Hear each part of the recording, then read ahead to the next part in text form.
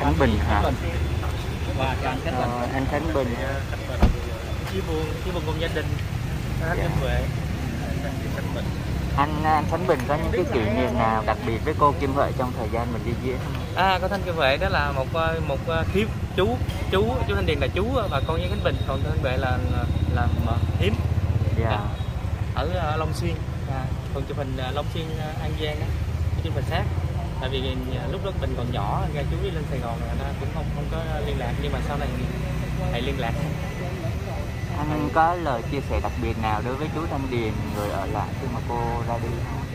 không thì ờ, có đi diễn ờ, với chú mấy lần với cô với cô mới mới nhận ra được. Tại vì ờ, chú chú thì đi diễn ở ngoài Bắc mấy lần với cô. Nhưng mà sau dịch á tự nhiên cái mấy tháng này thì cô bệnh đó bệnh sau đó mới nghe cô mắc mới nghe hôm qua à, có hỏi chú ờ, có đúng gì không? Mà chú nói đúng gì rồi? Thành ra mình chứ không dám ờ, sợ là mình đăng lên chia buồn đó sợ bị ờ, bị ờ, bị hố. Dạ.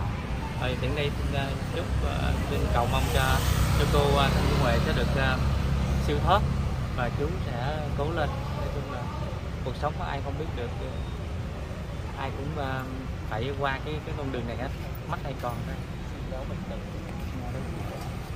Dạ cảm ơn anh. Chị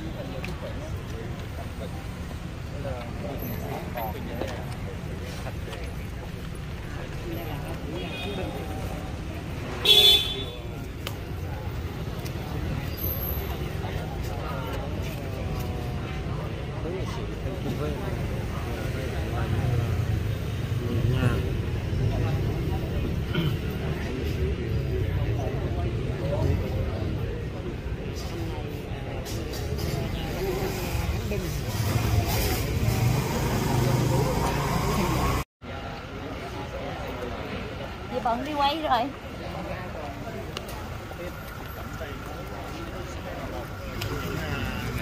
Trừ tụ trong sân khấu ờ, cải lương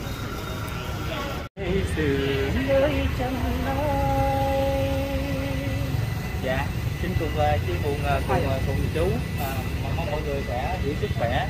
Là hai hai rồi sẽ cũng qua thôi như khánh bình cũng vậy hay là mọi người cũng vậy à, sớm đi trước đi hay đi trễ thôi dạ, nên mọi người sẽ à, thương yêu nhau bằng tất cả trái tim bằng tất cả tình người dạ.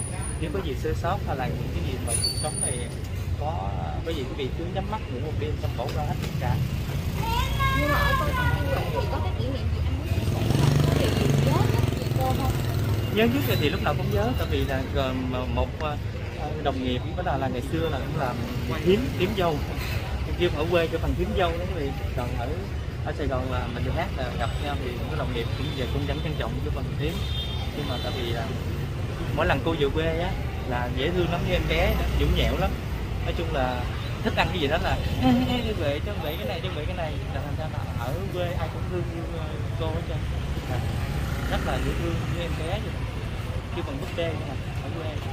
Cơ quan cầu khỉ là nhũng nhẽo lắm. Có cứ đi ăn cái gì là muốn ăn cái này muốn ăn cái này dạ. thành ra là ai cũng trân trọng cũng thương cô hết với cuộc sống không có mất lòng ai hết nghệ sĩ nào giờ mọi người thấy không có mất lòng ai hết Dạ. Bài dạ- bài hát hay là bài giọng cổ nào đó mà anh thích của cô Thanh Kim Huệ? à, yêu lầm không yêu lầm cái tình hát với lại ngọc tuyết á trên quý vị đánh lên youtube là nó yêu lầm ngọc tuyết với cái mình là hát của cô ngày xưa là cái mình à, nghe cô hát xong rồi sao à, bắt bắt chước cô là nghe hát là yêu lầm á của cái mình đó. Còn lan nhà điệp là cái mình chuẩn bị ra một cái à, cái kịch à, kịch cải lương á à, kỷ niệm mới vừa ờ, mới vừa định à, định à, mời cô thì bàn hết trơn rồi thì cô cô mất. Từ ờ, từ trước tới giờ thì anh có bao bao nhiêu lần song cao với lại cô chưa? Anh? À, Bình à, tại vì không có hợp, chưa có hợp, à, chưa có hợp cái bài hát nào hết, tại vì là cô là bên cổ của mình là bên nhạc, Dạ. thành ra mình mới có tập cổ đây là định chuẩn bị ra, nhưng mà lễ show cái tình đó là thứ nhất là gì, thứ hai là cô là mắc rồi, thì là không có còn mong là gì nữa rồi, cái là một dĩ vãng. Dạ. Ok mọi người giữ sức khỏe.